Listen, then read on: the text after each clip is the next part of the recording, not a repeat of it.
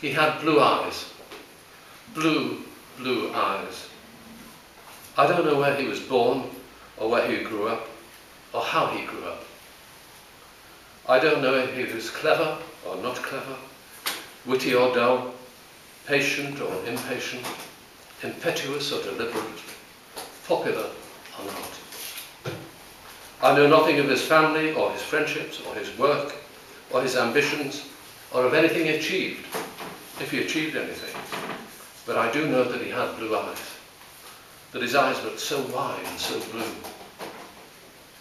I don't know if he had one girlfriend or many or none.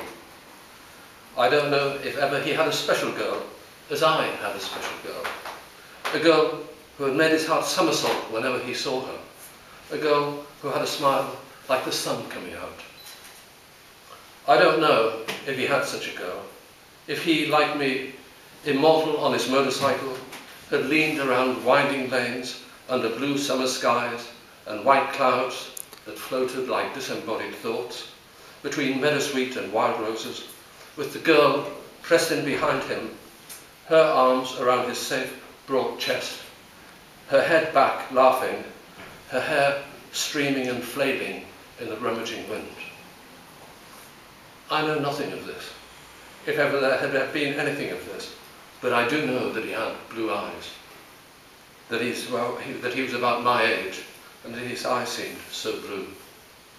I don't know if that girl, one of his girls, if he had a girl, had been the one a girl who seemed to complete him somehow, had seemed the missing half of him, had made him whole. I don't know if they married and one night in bed, she, like my wife, had snuggled up to him and put his hand on her soft warm belly and whispered for the first time, Feel, do you feel it? Do you feel it move? And he had whispered, Yes, yes, I do feel it. I do feel it move.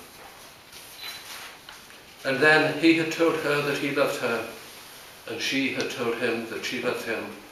And they had edged their faces close together on the pillow, and their lips had sought one another's out. And they had kissed before, spooned together, her back curved into him, his arm around her waist, his hand over her belly. They had fallen into a sleep soft and deep as a time lagoon. I know nothing of this if ever there was anything of this. But I do know that he was about my age, and that his eyes looked so blue, seemed so wide and so blue. I don't know if that morning, before coming to that place, he had reached inside his breast pocket and looked at the photograph, as I, that morning, had reached inside my breast pocket and looked at the photograph.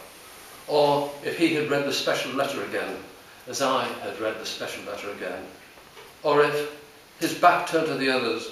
A tear had rolled down his unshaven cheek, as a tear had rolled down my unshaven cheek. I don't know how long he'd been there. I don't know what told me he was there. It wasn't a bird because there were no birds. It wasn't a whisper because there were no voices. No twig snapped. There was in that place only the thrumming silence and the roar in my ears and then I sensed him, and he saw me, and we both whirled in endless slow motion.